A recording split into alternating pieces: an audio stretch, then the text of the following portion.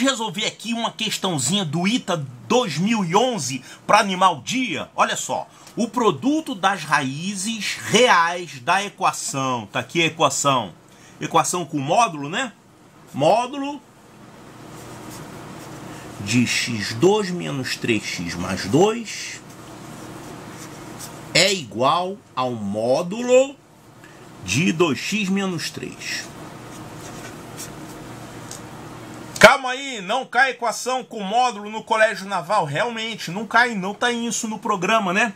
Acontece tem um monte de coisa que também não tá no programa e já caiu no colégio naval. Já caiu fatorial, já caiu teorema de Legendre, já caiu função característica. Então não está no programa, a, a banca do Colégio Naval não é tão bondosa não. Eles definem, coloca lá a definição do assunto novo que não está no programa e aí manda você calcular alguma coisa. Realmente, na Epicar, no Colégio Militar, eu acredito, é, não está no programa, eu acredito que eles não vão nunca cobrar isso na Epicar, nem no Colégio Militar. Mas no Colégio Naval, a gente nunca sabe da maldade, né? Porque olha só, tem equação do segundo grau no programa do Colégio Naval? Sim, tem. Tem módulo? Módulo tem. Como é que funciona mesmo o módulo? O que, que é módulo? Módulo é um número sem o sinal, é isso? Por exemplo, módulo de menos 5 é 5. É, só isso que você tem que saber de módulo. É. Só que aqui, olha como é que é essa equação. Módulo dessa expressão é igual ao módulo dessa expressão. Então, olha só. Quando é que o módulo de um número é igual ao módulo de outro número? Por exemplo, se você tiver 5 e menos 5, Olha só, vou colocar aqui um módulo. Ficou assim, ó, módulo de menos 5 é igual ao módulo de 5, que é igual a 5. Quando você diz que o módulo de um número é igual ao módulo de outro, isso aqui significa o seguinte. Ou esses números são iguais, ou então o que? Eles são assim um é igual ao outro com um sinal trocado, né? Então, quando você tem uma equação como essa, uma equação bem simples, é uma das equações modulares mais simples, tá? Por isso que eu botei, eu escolhi essa daqui simples para vocês conseguirem resolver. Não vou botar uma equação com módulo das doidas aqui para o pessoal do naval, epicar, etc. Então, quando você tem essa expressão aqui, módulo de uma expressão é igual ao módulo de outra expressão, você vai desmembrar em duas novas equações. Quais são essas duas novas equações? Primeiro, essas duas expressões são iguais. E segundo, seria uma outra equação, onde uma expressão é igual a outra com o sinal trocado. Sendo assim, essa equação com módulo, ela vai dar origem a duas novas equações. Essa aqui,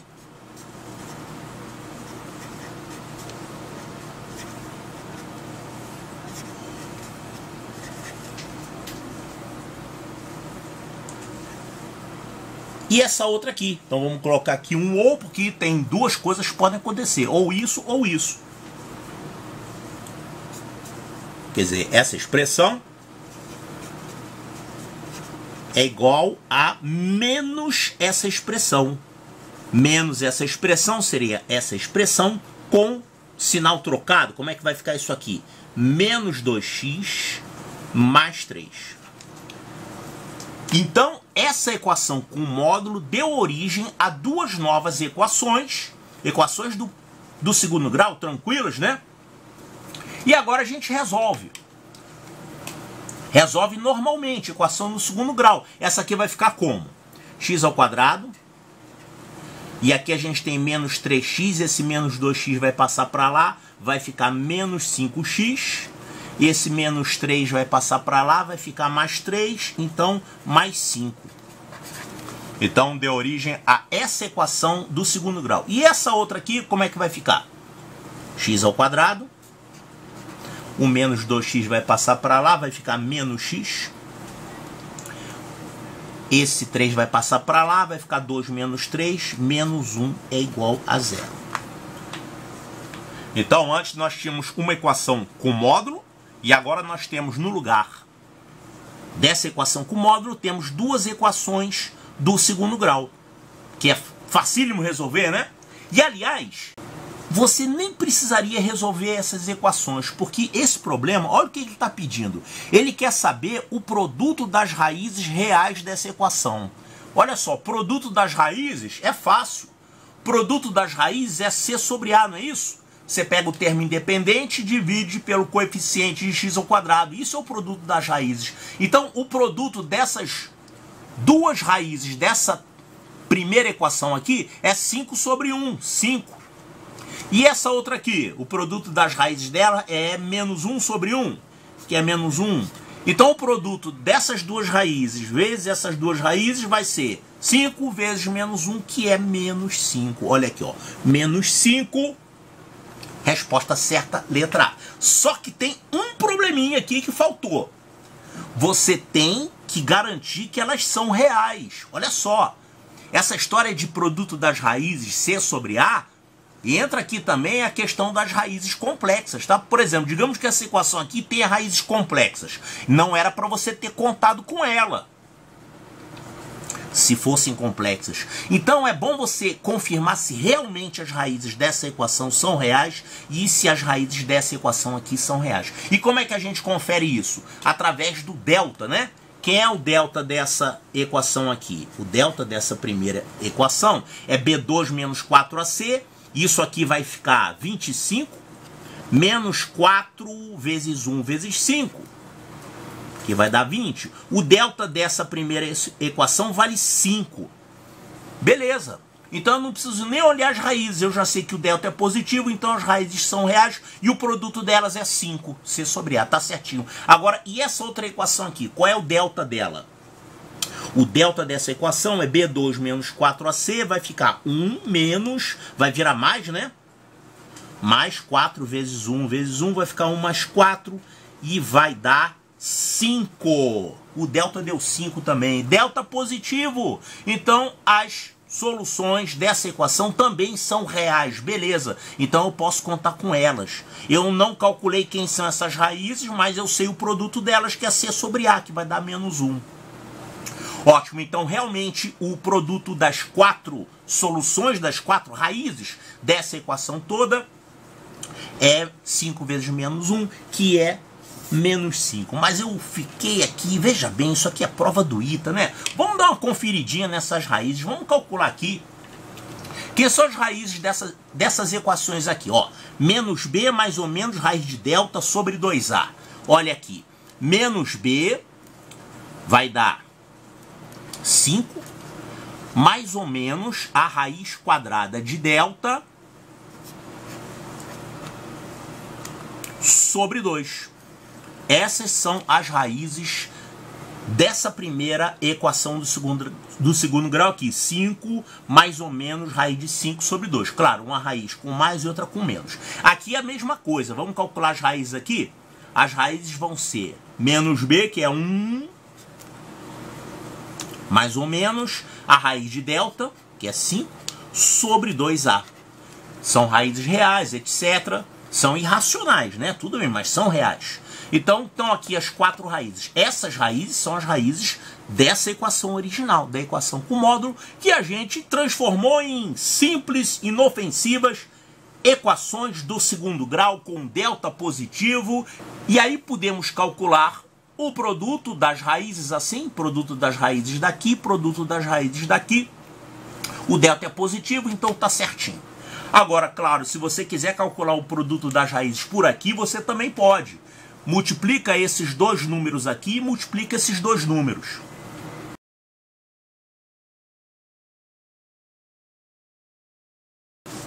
Claro, eu nem precisava fazer isso aqui, é só para mostrar que vai dar a mesma coisa, tá? Olha só, eu tenho aqui as quatro raízes reais. Multiplicando isso aqui, olha, eu vou multiplicar essas duas. Isso aqui é o produto da soma pela diferença. É quadrado do primeiro, 25, menos o quadrado do segundo, que é 5, sobre 2 vezes 2, 4. É o produto dessas duas aqui. E aqui a mesma coisa, ó quadrado do primeiro menos o quadrado do segundo. Isso aqui vai dar 1 menos 5 sobre 4.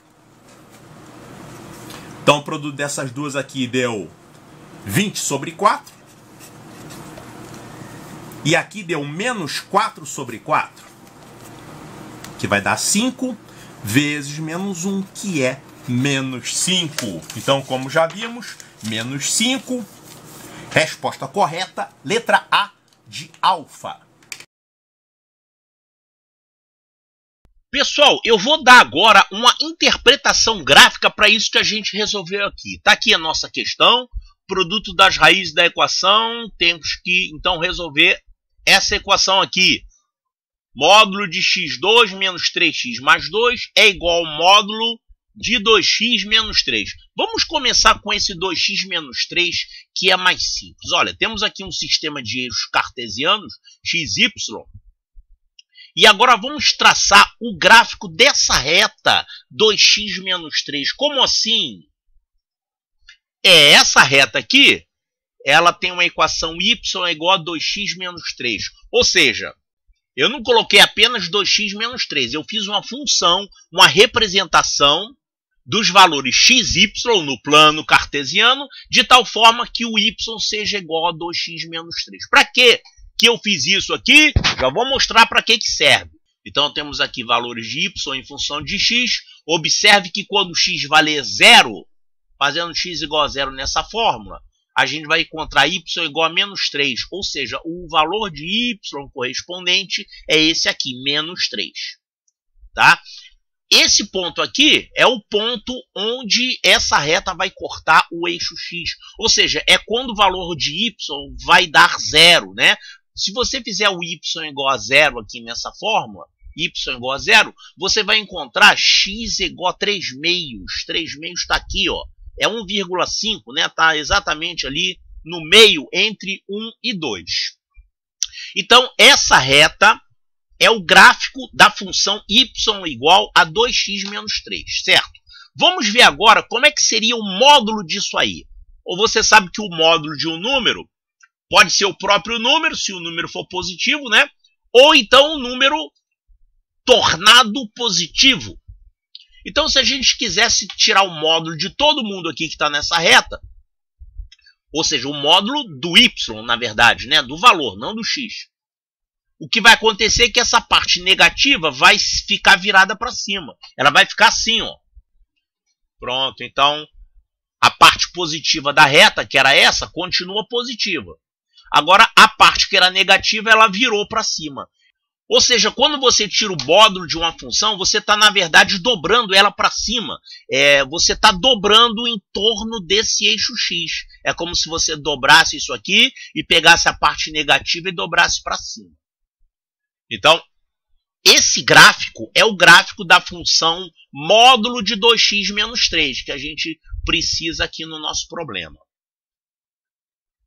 Tá, agora vamos fazer a mesma coisa com a parábola. Vamos fazer uma parábola y igual a x ao quadrado menos 3x mais 2. Está aqui, ó. Essa é a parábola y igual a x ao quadrado menos 3x mais 2. Essa parábola tem a concavidade voltada para cima, porque o coeficiente de x ao quadrado é positivo. Ela vai cortar o eixo y nesse ponto, por quê? Porque se você fizer aqui na fórmula x igual a zero, vai dar 2 o resultado. Então, vai cortar aqui no ponto 2. Aqui nós estamos vendo as raízes dessa parábola, as raízes da função do segundo grau. Realmente, se você fizer x igual a 1 ou x igual a 2, você vai ter o resultado zero. Tá, e o que, que seria tirar o módulo disso aí? O módulo é pegar toda a parte negativa e virar para cima.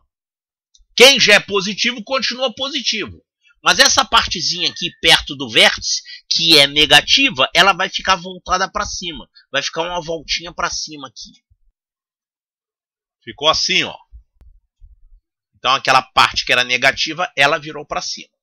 Isso aí é o gráfico da função y igual a módulo de x ao quadrado menos 3x mais 2. Agora vamos colocar o módulo daquela outra função, a reta. Ali, ó.